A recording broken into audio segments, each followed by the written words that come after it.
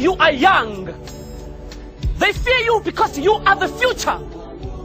How fearful they must be that they shoot you, children. How powerful you must be that they fear you so much. You are powerful because you are the generation that will be free. The violence, the beatings, the torture, the killings, all this is the bad pain of our free nation.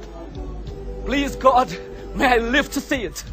But if I don't, I see it now on your faces, like the light of the rising sun, and my heart leaps within me as if I too was young again. And I know, oh yes, I know, freedom is coming tomorrow. Amandla! Amandla! Mayibuye! Africa! May our children rest in peace. Ashes to ashes, dust to dust.